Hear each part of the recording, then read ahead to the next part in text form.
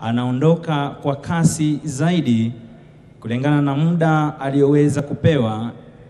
akitoka nje ya gwaride hii kujiunga na wakuu wa vikundi mbalimbali kabla ya kurudi tena na kuchukua nafasi zao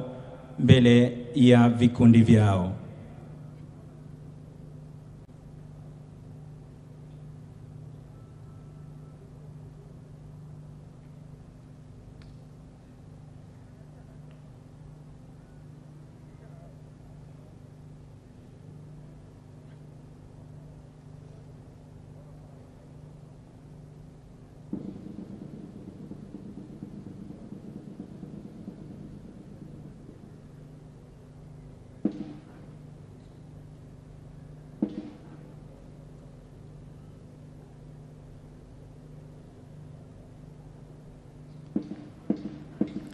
Sasa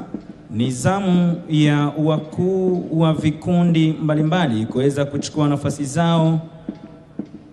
ndani ya gwaride hii pamoja na pa- parade adjutant